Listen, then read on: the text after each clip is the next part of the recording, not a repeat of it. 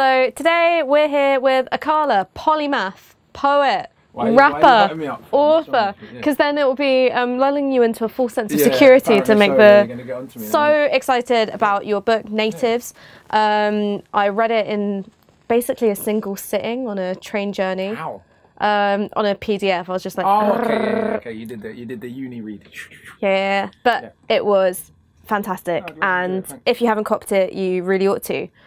And I guess the first question that I have for you is we're facing a really uncertain future Yeah, yeah. climate catastrophe, Mm-hmm. Brexit, uh, increasing conflict as we move towards a more multipolar Mm-hmm. world system. So, why does it feel so timely for you to take this step back and look to the past of empire? Um, because a lot of Britain's challenges are rooted in a failure to reconcile with, confront, educate about the history of empire. The, recent Windrush, so-called Windrush scandal was an example of just this. The vast majority of the country are unaware that Caribbeans and South Asians arrived in this country as British citizens. Many of them war veterans. In the case of Jamaica, from a territory that had been governed by Britain since before the Act of Union with Scotland. So sorry, governed by England before there was a Britain. Yeah, as a political entity. That's how long England and Jamaica's relationship is. Um, and so the, the idea that we are immigrants, those of us who came from Commonwealth countries, but the hundreds of thousands, in fact, 1.6 million people that came from Ireland and Europe after the war are part of the white working class, is one of these deliberate outcomes of actual ruling class policy. And I'm not saying that to be hyperbolic, I'm saying it because I've looked at the documents, and that was part of the program. They felt that they could make proper Brits of the people that came from, from Europe, even though they did not treat them very, very well. But were very nervous, even Attlee's Labour government, very, very nervous about British citizens of the of the wrong colour. So they called Attlee's government referred to the citizens on the Windrush, the literal passengers of the Windrush, as an incursion. These were fee-paying British citizens, many of them war veterans, many of them skilled workers. Um, and so this, this, this failure to reconcile with all of this history, to understand what Britain's role in the world has been and how the rest of the world perceives that role, um, and what America's role since World War II has been and our, and our role in that, and how that is going to affect our lives going forward as the world adjusts to the rise of China, to the return of India as a global power, to the shift of the world economy towards Asia. All of those things are going to have real world effects for individuals living living in the UK. I mean, you mentioned Clement Attlee just now, and it's something which appears early on in the book, which is you say that to understand the management of race to this day, whether it's the overstaffed mental hospitals, um, the severe incarceration rates, exclusion rates, etc., you have to understand how it is we came to be here. Correct, yeah. And it's interesting to me that the Attlee government is something which is really held up and valorised by, you know, this iteration of Corbyn's Labour mm-hmm. Party. Does that fill you with a sense of mistrust or concern? I think I think people just have to own their class interest, and we have different class interests. Even those of us who came from working class backgrounds, based on our relationship to the British state historically. So I completely understand why, if you are part of what calls itself the white working class, you can romanticise Attlee's government and see only the good things they've done, the building of the NHS, uh, the building of the welfare state, etc. But if you're a Malaysian who was bombed by Attlee's government, your opinion then might be slightly different. If you're a Caribbean who was referred to as an incursion despite paying for yourself to come to your own country, and that government then set in process uh, the, the, the mechanisms by which eventually Caribbeans and Asians would be stripped of their British citizenship, then of course your attitude towards that government is going to be quite different.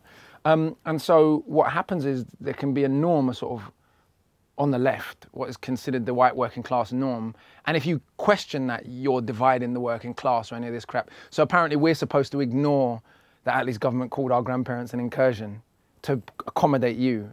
Because if, us- if, we if we mention that, we're bringing up identity politics, even though our grandparents' citizenship was stripped of them because of their identity, we're supposed to ignore that. Similarly, if a Malaysian says, well, hold on a minute, this, this guy bombed Malaysia to try and keep British control in, in, in that part of the, the world in that same period. Um, and so I think it's just different class interests um, and different relationships to the British state that end up with people having different analyses. There's nothing wrong with people respecting the building of the NHS and, and, and the building of the welfare state, but that does have to come in in context of the history of the British Empire and in the history of where Britain was at, at, at that point. Us becoming a multi-ethnic society was not actually a legacy of the British Empire. It was an accidental legacy of World War II. For the hundreds of years that Britain ruled the Caribbean, it never dreamed of inviting its black Caribbean slaves to live in Britain in any significant numbers.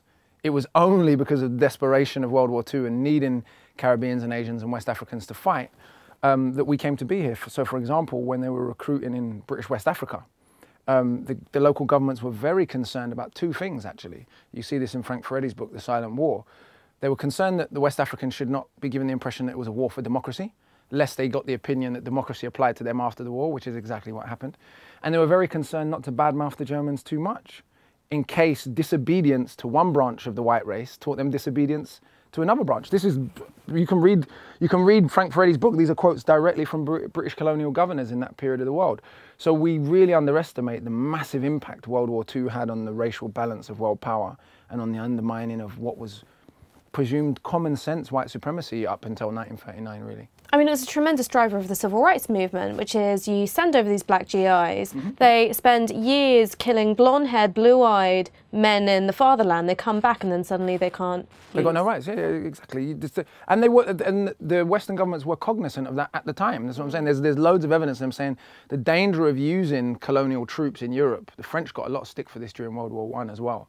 Um, or was it World War II? Let me let me check that one. But anyway, the French got loads of stick for using colonial troops, Senegalese colonial troops. I think it was actually World War II, um, because of what they feared the racial consequences would be. They wouldn't be obedient when they came back to the colonies. It would undermine what um, colonial governors at the time called white prestige.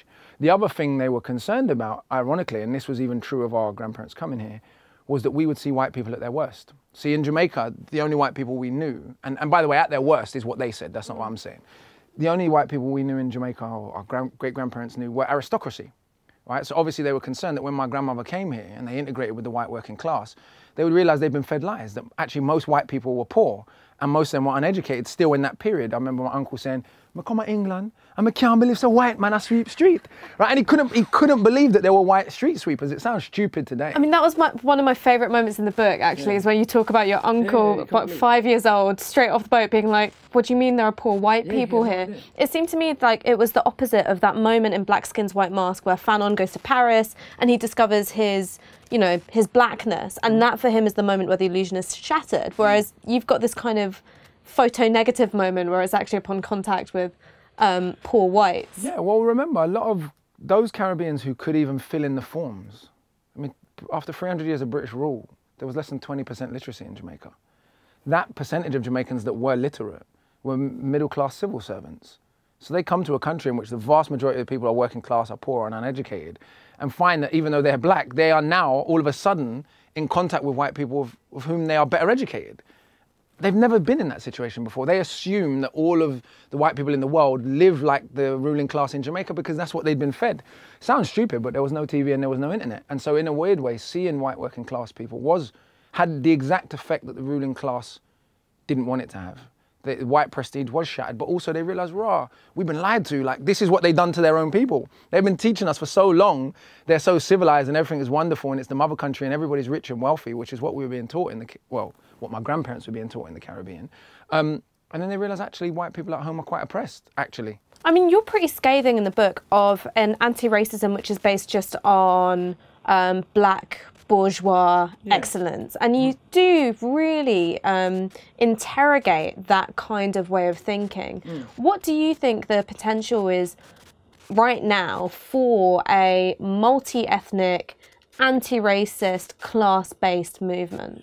Um, I think it depends where in the world you are. I think it would be really arrogant of us to say to black Americans, for example, given the history of white supremacist racist terrorism in America, lynchings, etc., from the white working class, given the history of the banning from unions, etc., for us to go and tell black Americans, you must accept our analysis.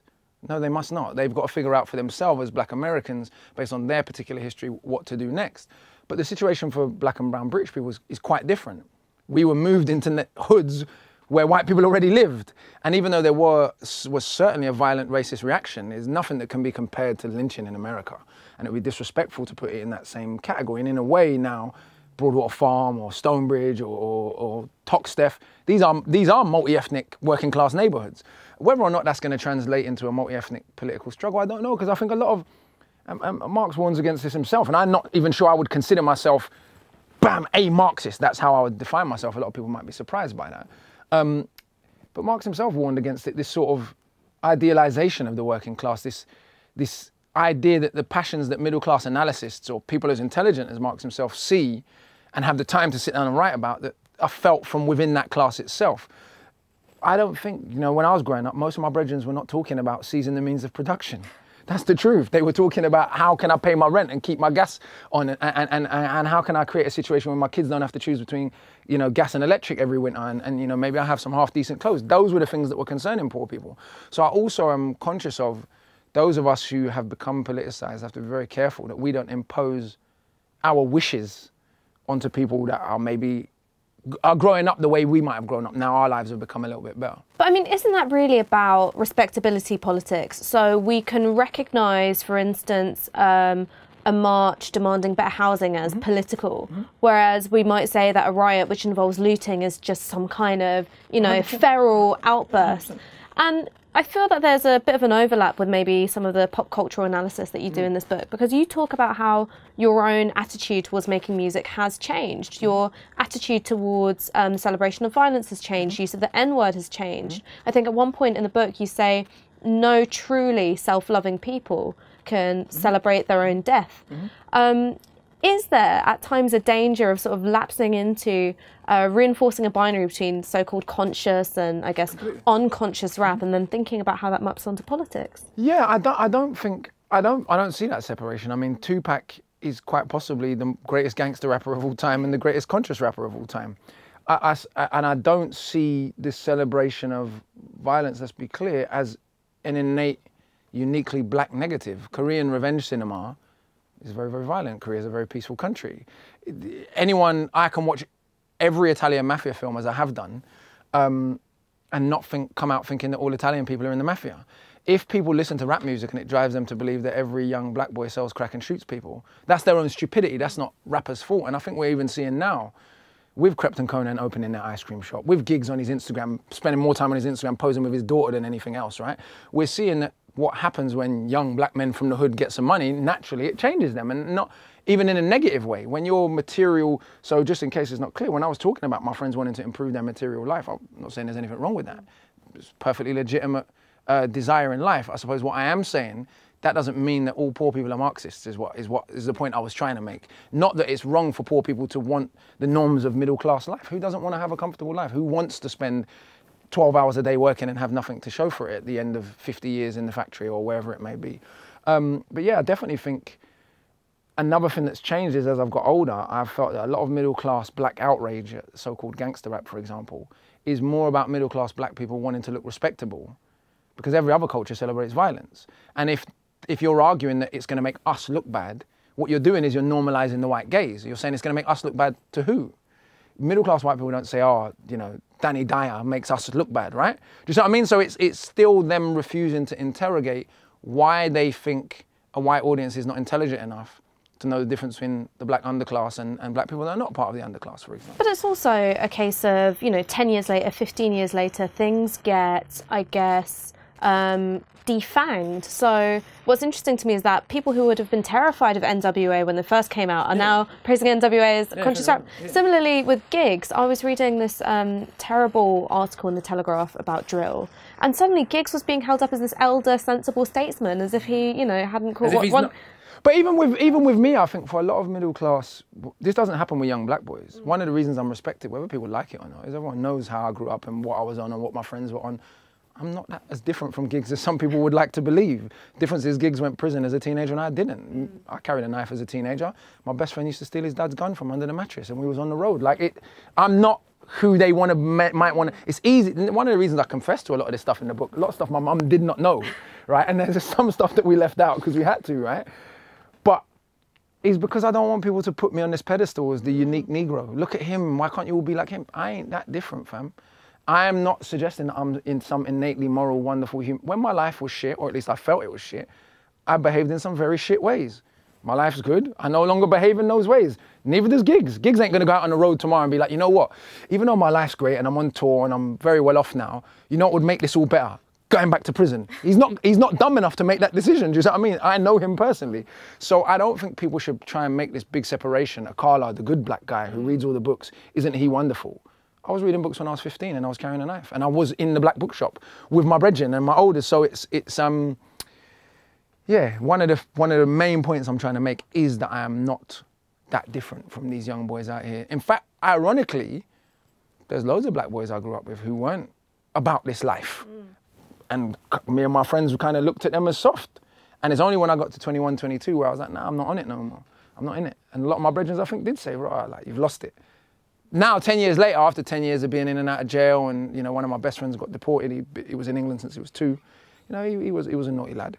Um, people are saying, oh, actually, maybe you made a good decision, but I shouldn't be separated from other street black youths to make middle class people feel good. I'm not that different from them. I think that um, sense of a refusal to pander to the white gaze, I think either through sensationalizing violence or through kind of, um, you know, rejecting it and separating yourself off was something that really came across um, in the book to me. The other thing that came across was just how very, very British it is, and in particular, very, very North London, which absolutely made my heart sing. So I've got two questions for you Yeah. um, on that. One, why is it that all you Acland Burghley boys were such heartbreakers growing up?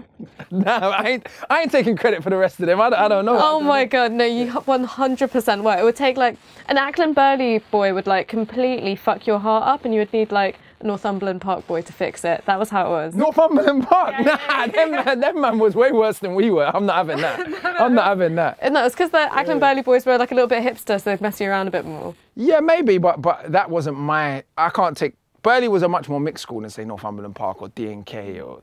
So I can't. My set was. I spent much more of my childhood in you know Tottenham or Hackney or Harlesden than I did in Camden. This is one of the things I talk about in the book.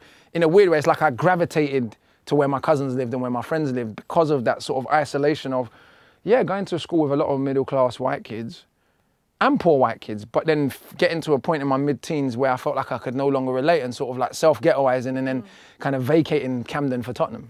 I mean, and the, I, guess, I guess the other thing I wanted to ask about that is um, because it feels so rooted in North London, so rooted in a British diaspora experience, do you ever think that as anti racists in this country, we're a bit too reliant on an American model of understanding racism? I, I very much, I think for African Caribbeans in particular, and I've only started to realize this in the last five years, that can be one of the dangers. We love our black American cousins. Malcolm is on the wall, Martin is on the wall, Muhammad is on the wall. Um, but in a way, the British state has encouraged that. Think about how many great documentaries the BBC have done on the civil rights movement, on Malcolm X, on Martin Luther King, on almost a way of saying, look at these wonderful black Americans and look how racist America is and look how much they've done over their black people. You talk to most black people in Britain even, they'll know the Alabama church bombing. They won't know New Cross. And so one of the points I'm trying to make in this is not that that's wrong that we know about our, what, what's happening in America. It's the center of the empire. It's the center of world politics at, at the moment, or at least believes it is. Um, but one of the dangers is sort of othering the British struggle and that being sort of a secondary, of secondary importance. So I do think it's very, very important that we are as familiar with Stuart Hall as we are with Toni Morrison or Angela Davis. And at the moment, we're not. We, we all know a Toni Morrison or Angela Davis, but we won't know a Stuart Hall or a Gilroy or a Gus John or, or a Claudia Jones. And those are equally important because our situation, as I've said, is quite different. Uh, very similar, but also very, very different. What are the specific things that you think make the British situation different? Well, the lack of formal apartheid. It meant that the British government had to try and achieve the outcomes of apartheid without having those legal mechanisms of, of, of actual segregation. Um, and, and never really actually aimed to achieve the same things that America had. One of the things post war British governments were really concerned about was the creation of actual black ghettos in, in Britain because they felt that was too troublesome. And so they did want a degree of assimilation. They didn't want to appear to be too racist. So they wanted to restrict Commonwealth migration on racial grounds, but then felt that the black people that were here, it would be too embarrassing to treat them as badly as they were being treated in America or Australia or Southern Africa. And so that subtleness of British racism is why a lot of people think you're, you're going over the top when you say police battered people in my family. People think you're just making it up to sound cool. Um, but if they talk to Irish people over 50, they'll find a, a similar stories. In fact, the Irish story, in a way, in post-war Britain, shows exactly what I'm talking about. The Irish in America, by then, had very much become white. They were not really accepted until the mid 90s after the Good Friday Agreement. When I was growing up, Irish people in Kilburn getting battered by the police was still very, very normal. And so it's all of those different nuances, but mainly the fact of living in a neighborhood that is not segregated. My business partner is from Vanderveer Projects in New York. Um, and when she grew up, there were literally zero white people in her neighborhood or in her class. In fact, zero non-black people. There is nowhere in Britain that is quite like that. Maybe Handsworth, maybe. And that's Caribbean and Asian even. Do you see what I mean? So it's not even like, there is nowhere where there's that complete level of spatial segregation. Um, and that just creates a slightly different um, environment, a slightly different analysis, and also having that direct connection to the Caribbean or West Africa, to majority black polities, is very different from being essentially isolated in America and severed from, even though there's been migration from the Caribbean into America, um, severed from those connections to those places. Um, and so there, there, are, there are similarities, but there are big, there are big, big differences that I think ha have to be wrestled with. And now we're coming more of cultural confidence. None of this is divorced from popular culture. Now we're coming more into our own.